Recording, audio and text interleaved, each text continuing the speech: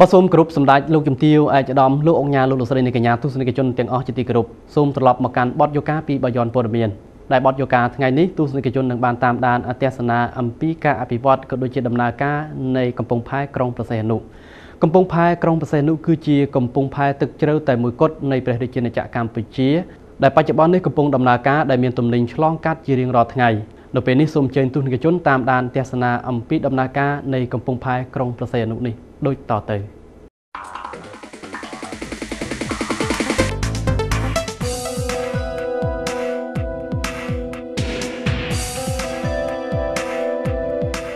ស្ថិតនៅក្នុងបរិបទនៃប្រទេសជាតិដែលកំពុងធ្វើដំណើរយ៉ាងត្រឹមត្រូវលើមាគ៌ាឆ្ពោះទៅរកវឌ្ឍនភាពនិងភាពរីកចម្រើនជាបន្តបន្ទាប់នោះកំពុងផែស្វ័យយ័តក្រុងប្រសិទ្ធអនុបាននឹងកំពុងចូលរួមចំណែកយ៉ាងសំខាន់ និងសកម្មក្នុងការបម្រើការអភិវឌ្ឍសេដ្ឋកិច្ចជាតិតាមរយៈការអភិវឌ្ឍឥតឈប់ឈរនៅហេដ្ឋារចនាសម្ព័ន្ធគ្រប់ប្រភេទបំពាក់នៅឧបករណ៍មធ្យោបាយគ្រឿងចក្រធុនទំនើបទំនើប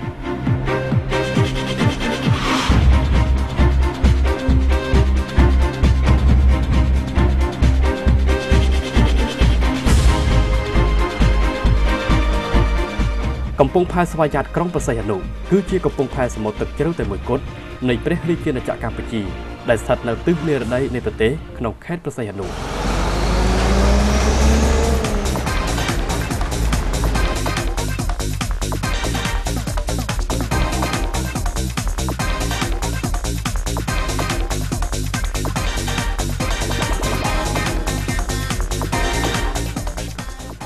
កំពង់ផែនេះប្រកបដោយសក្តានុពលខ្ពស់ដែលមានអំណោយផលពីធម្មជាតិដោយមានជួរភ្នំនិងកោះជាច្រើន ជារបាំងការពារនៅគ្រោះធម្មជាតិដូចជាព្យុះរលកស៊ូណាមី និងទឹកជំនន់ជាដើម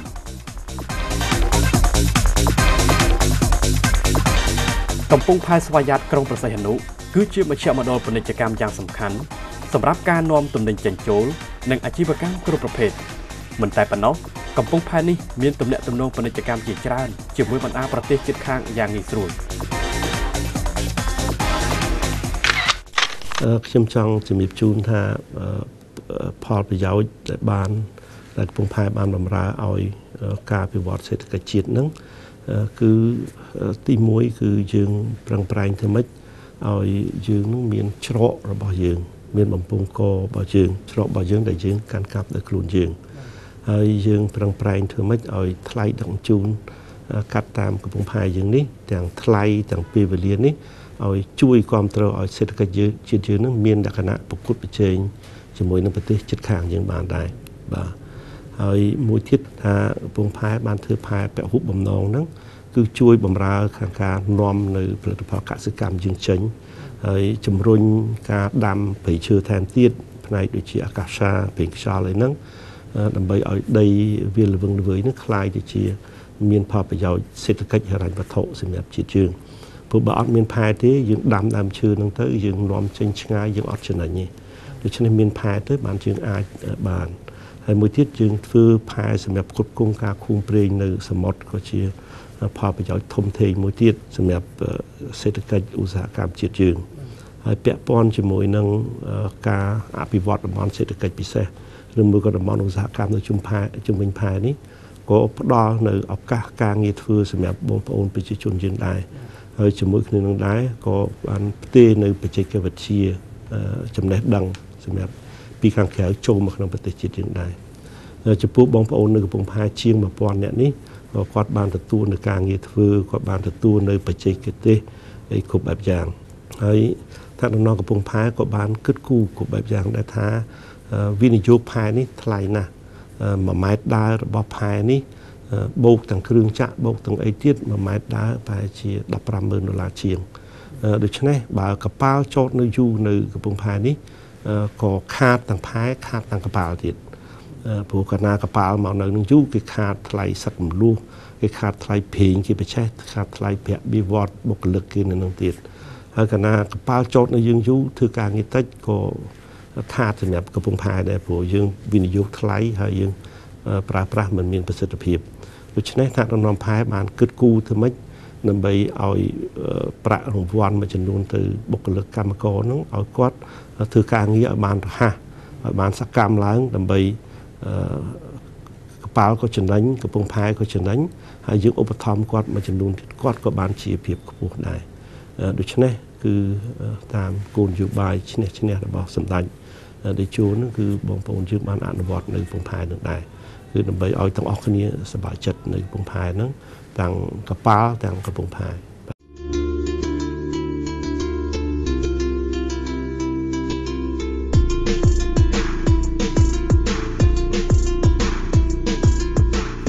បច្ចុប្បន្នកំពង់ផែស្វយ័តក្រុងប្រសិទ្ធនុមានបណ្ដាញដឹកជញ្ជូនសំខាន់សំខាន់ដូចជា ពីខេត្តប្រសិទ្ធនុទៅរាជធានីភ្នំពេញដោយឆ្លងកាត់ផ្លូវជាតិលេខ4ចម្ងាយ226គីឡូម៉ែត្រពីខេត្តប្រសិទ្ធនុទៅរាជធានីភ្នំពេញកាត់តាមផ្លូវបបែកវារិញទៅផ្លូវជាតិលេខ3ចម្ងាយ244គីឡូម៉ែត្រពីខេត្តប្រសិទ្ធនុទៅរាជធានីភ្នំពេញតាមផ្លូវដែកចម្ងាយ264គីឡូម៉ែត្រនិងតាមរយៈជើងហោះហើរពីខេត្តប្រសិទ្ធនុទៅរាជធានីភ្នំពេញសៀមរាបនិងបណ្ដាប្រទេសផ្សេងៗដទៃទៀត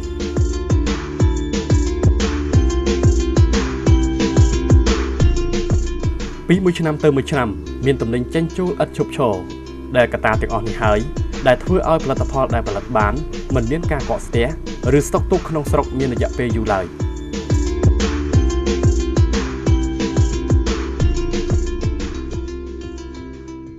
ទន្ទឹមនឹងភាពរីកចម្រើនរបស់កំពង់ផែនាពេលបច្ចុប្បន្នក៏យើងទាំងអស់គ្នាមិនអាចបំភ្លេចផងដែរ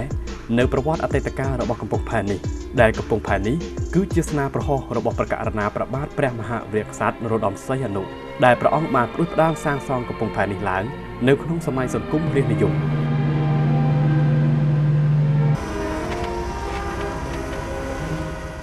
កំពង់ផែនេះគឺចាប់ផ្ដើមកកើតឡើងហើយដោយបរិតម្រេះដ៏ភ្លឺស្វាងបំផុត របស់កុណាជាម្ចាស់ជីវិតរំខលលើត្បូងរបស់យើងដែលសម្រាប់សាងសង់កំពង់ផែសមុទ្រទឹកជ្រៅរបស់ប្រទេសជាតិយើងនេះហើយកំពង់ផែនេះចាប់ផ្ដើមសាងសង់សម្រាប់នៃការសាងសង់នៅឆ្នាំ1955ហើយចាប់ផ្ដើមសាងសង់សិក្សាសាងសង់នោះ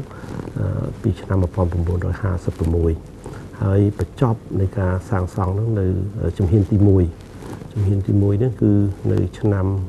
1959ចុងឆ្នាំ1959ហើយបានចាប់ផ្ដើមអាជីវកម្មរបស់ខ្លួនជាមោទនភាពណាស់ថាការសម្រេចនេះត្រឹមត្រូវត្រឹមត្រូវដោយសារបរិមាណទំនិញឆ្លងកាត់ផែពងសោមនេះបានឡើងជាបន្តបន្ទាប់រហូតដល់ឆ្នាំ1967បរិមាណទំនិញបានកើនឡើងជិត1លានតោនគឺ960ពាន់តោនដែ លលើសអំពីសមត្ថភាពរបស់កំពង់ផែធ្វើជំហានទី1នេះ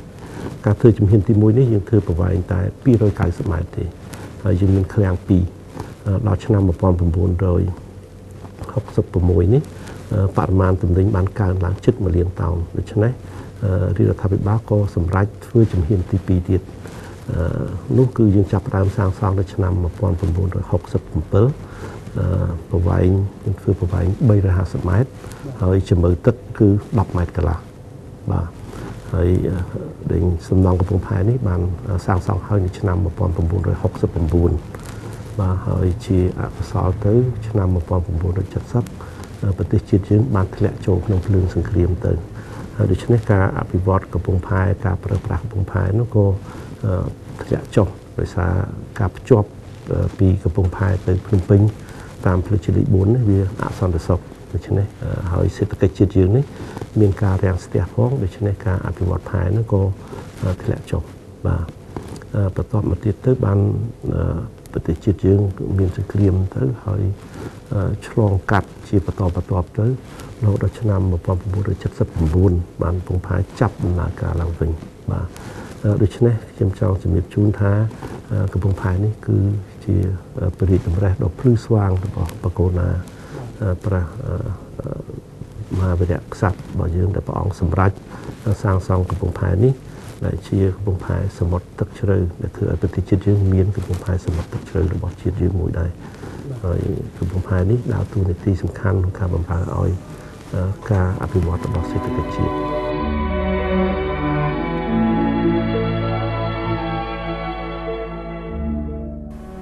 នៅក្នុងអំឡុងពេលដែលប្រទេសជាតិបានជួបនៅវិបត្តិសង្គ្រាមដ៏រ៉ាំរ៉ៃជាពិសេសក្នុងរបបប្រល័យពូជសាសន៍ប៉ុលពតកំពង់ផែនេះបានផ្អាកនៅសកម្មភាពមួយរយៈប៉ុន្តែក្រោយឆ្នាំ1979កំពង់ផែនេះបានចាប់ផ្ដើមដំណើរការឡើងវិញក្រោមការរៀបចំរបស់រាជរដ្ឋាភិបាលកម្ពុជាបច្ចុប្បន្ន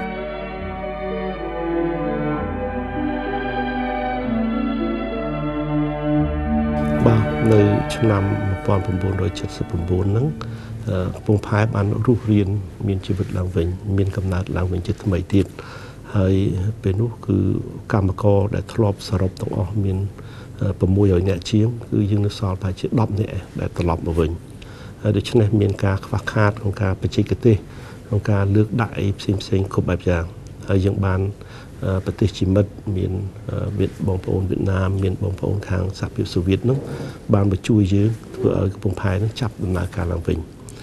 បរិមាណទំនិញបានឡើងជាបន្តបន្ទាប់តាំងពីឆ្នាំដំបូងគឺយើងមានប្រហែលជា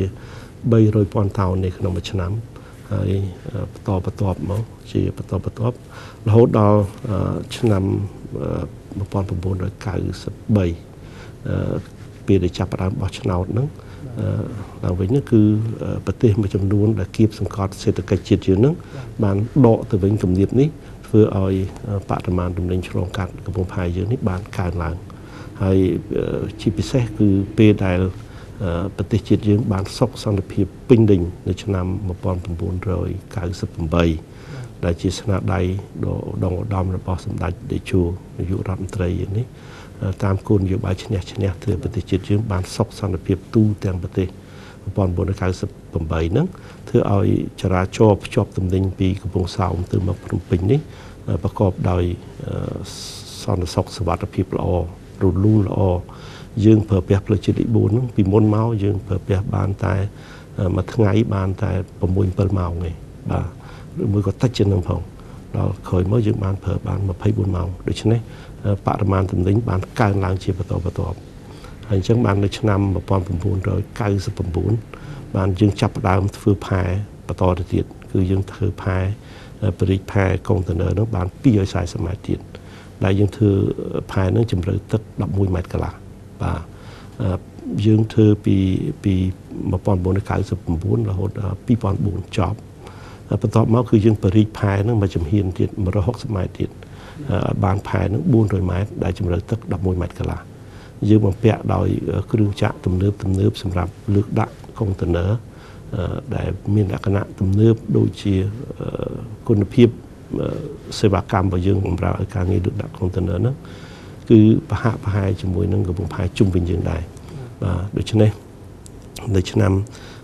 2009យើងចប់បានមួយវគ្គធំគឺ400ម៉ែត្រហ្នឹង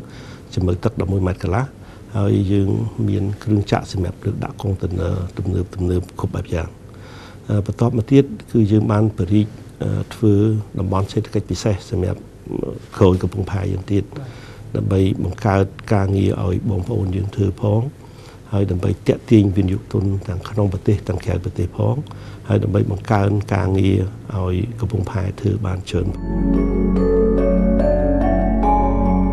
តាមគោលនយោបាយយុទ្ធសាស្ត្ររបស់រាជរដ្ឋាភិបាលកម្ពុជាបច្ចុប្បន្នការកសាងនិងការអភិវឌ្ឍគឺជាគោលសោយុទ្ធសាស្ត្រយ៉ាងសំខាន់ក្នុងការអភិវឌ្ឍប្រទេសជាតិឲ្យមានការរីកចម្រើន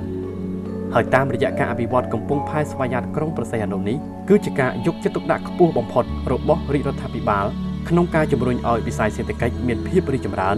និងឲ្យស្របតាមព្រះរាជសកម្មភាពរបស់ព្រះមហាវីរក្សត្រខ្ញុំគិតថា សម្ដេចតាលោកបានបង្កើតកំពង់ផែនេះហើយជាមោទនភាពធំធេងណាស់សម្រាប់បងប្អូនកំពង់ផែទាំងអស់បងប្អូនកម្មករបុគ្គលិកទាំងអស់ដែលសម្ដេចនាយកសម្ដេចតេជោហ៊ុនសែនសម្ដេចហ៊ុនសែនគាត់តែងតែអញ្ជើញមកធ្វើការសំណេះសំណាលការណែនាំការលើកទឹកចិត្តបងប្អូនកំពង់ផែរាល់ថ្ងៃមួយឧសភាជារៀងរាល់ឆ្នាំដូច្នេះបញ្ជាក់ថាជា សម្ដេចគាត់យកចិត្តទុកដាក់ទាំងការងារកំពង់ផែផងទាំងការងារតំបន់សេដ្ឋកិច្ចពិសេសនៅពីក្រោយកំពង់ផែផងដូចខ្ញុំបានជំរាបជូនមិញថាសម្ដេចតេជោបានផ្ដល់ឲ្យដីមកក្រោយកំពង់ផែនេះ45ហិកតាសម្រាប់អភិវឌ្ឍតំបន់សេដ្ឋកិច្ចពិសេសនេះដូច្នេះបញ្ជាក់ថាសម្ដេចតេជោក៏លោកបានបន្តនៅប្រពៃណីនៅស្នាដៃរបស់សម្ដេចព្រះវីរៈ ក្សត្ររបស់យើងជាបន្តទៅទៀតហហើយកូនចៅបងប្អូនកំពង់ផែក៏បំរើស្នាដៃនៅគោលនយោបាយនេះបន្តទៅទៀតដែរបាទបន្ទាប់ពីការសម្រេចចិត្តមើងម៉ាត់មួយ ហើយដោយមានការគ្រប់គ្រងពីរដ្ឋាភិបាលជប៉ុន សម្រាប់គម្រោងការមួយនេះដោយមានការសិក្សាជាក់លាក់របស់យាយការបស់បណ្ដាក្រុមហ៊ុនជប៉ុនអញ្ចឹងទេហើយជប៉ុនឲ្យលុយមកទៀតធ្វើបណ្ដោយធ្វើបណ្ដោយអញ្ចឹងទេបានជានៅក្នុងនេះ ក្នុងបរិជាណាចក្រកម្ពុជា កំពុងផែដែលគ្រប់គ្រងអាតំបន់សេដ្ឋកិច្ចពិសេសដែលគ្រប់គ្រងដោយរដ្ឋគឺមានតែមួយទេគឺនៅកន្លែងហ្នឹងតែម្ដង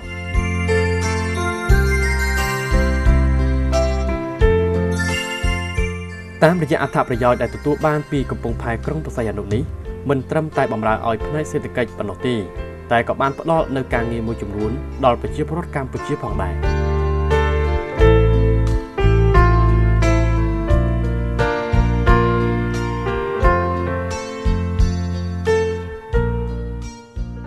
នុងនាមខ្ញុំជានាយកផែនការស្ថិតិនេះគឺជារៀងរាល់ឆ្នាំ គឺកំណើនបរិមាណទំនិញក៏ដូចជាកំណើនសេដ្ឋកិច្ចរបស់កំពង់ផែដែរគឺមិនតិចជាងកំណើន GDP របស់ប្រទេសទេគឺក្នុងចន្លោះពី6ទៅ12%ស្ទើរតែជារៀងរាល់ឆ្នាំហើយការបំពេញសេដ្ឋកិច្ចទាំងអស់នេះគឺជាផលប្រយោជន៍ធំណាស់ សម្រាប់ប្រទេសជាតិទាំងមូលព្រោះអ្វីដែលនាំចេញតាមកំពង់ផែហើយអ្វីដែលនាំតាមចូលមកតាមកំពង់ផែគឺសម្រាប់ទូទាំងប្រទេសហើយសម្រាប់ទូទាំងសកលលោកជាពិសេសប្រទេសដែលតម្រូវការដូចជាសប្តាហ៍ថ្ងៃនេះអង្គបាទហើយអឺកសិផលមួយចំនួនទៀតដែលជំរុញឲ្យគោលនយោបាយរបស់ ថ្នាក់ដឹកនាំប្រទេសយើងថានឹងបង្កើនរហូតទៅដល់1លានតោននៅក្នុងចន្លោះឆ្នាំខាងក្រោយខាងក្រោយទៅមុខទៀតបាទបាទសូមសូមបញ្ជាក់ជូនដែរថាកំពង់ផែក្រុងបរសេនុនេះយើងបានដឹងហើយថាប្រជាណាចក្រកម្ពុជារបស់យើង គឺមានកំពង់ផែតែមួយទេបាទគឺកំពង់ផែក្រុងបរសេនុនេះ ដែលព្រះអង្គបានកសាងហើយនេះជាស្នាព្រះរបស់ព្រះអង្គមួយដែល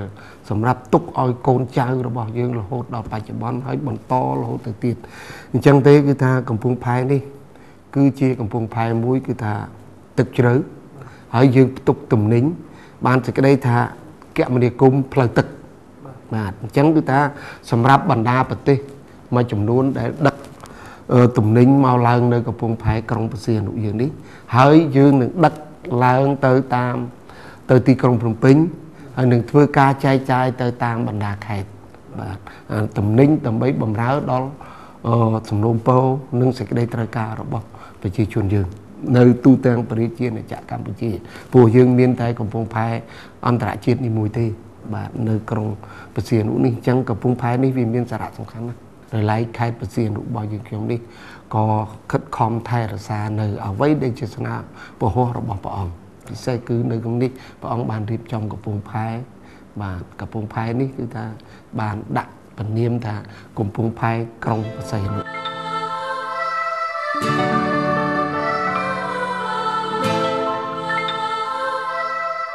វាពិតជាមានសារៈសំខាន់ខ្លាំងណាស់សម្រាប់ប្រទេសកម្ពុជា ដែលមានកំពង់ផែទឹកជ្រៅតែមួយគត់សម្រាប់បម្រើនៅវិស័យសេដ្ឋកិច្ចឲ្យមានការរីកចម្រើន ក្នុងការនាំទំនិញចេញចូលទាំងក្នុងនិងក្រៅប្រទេសហើយតាមរយៈសកម្មភាពកំពង់ផែនាពេលបច្ចុប្បន្ននេះពិតជាឆ្លើយតបទៅនឹងព្រះរាជសកម្មភាពរបស់បកករណាព្រះមហាវីរក្សត្រនរោត្តមសីហនុដែលទ្រង់បានបង្កើតកំពង់ផែនេះឡើង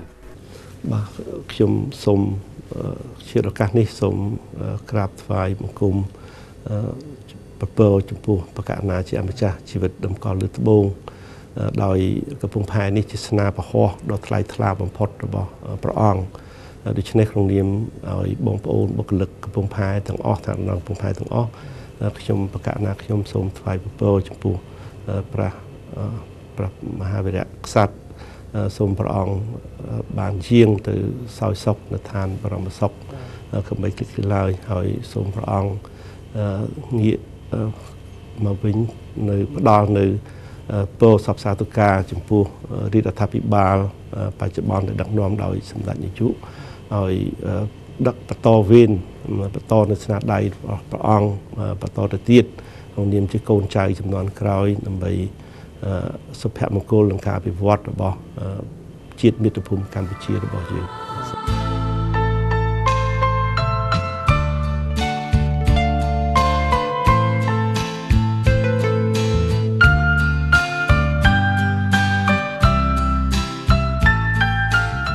បច្ចការពិតណាស់តាមរយៈការអភិវឌ្ឍកំពង់ផែក្រុងប្រស័យអនុនេះនឹងបានរួមចំណែកយ៉ាងសំខាន់ក្នុងការអភិវឌ្ឍវិស័យសេដ្ឋកិច្ចពាណិជ្ជកម្មឲ្យមានការរីកចម្រើនហើយទាំងនេះជាការយកចិត្តទុកដាក់ដ៏ខ្ពង់ខ្ពស់ពីសំណាក់រាជរដ្ឋាភិបាលកម្ពុជាបច្ចុប្បន្នដែលលោកបានខិតខំក្នុងការអភិវឌ្ឍវិស័យសេដ្ឋកិច្ចនេះឲ្យមានការរីកចម្រើនគួរឲ្យចាប់អារម្មណ៍អរគុណទស្សនិកជនដែលបានតាមដានទស្សនានៅបទយកានេះឱកាសក្រោយយើងខ្ញុំនឹងមានបទយកាថ្មីថ្មីមកជម្រាបជូនជាបន្តទៅទៀត សម្រាប់ពេលនេះខ្ញុំបាទរួមទាំងក្រុមការងារសូមអរគុណសូមគោរពលា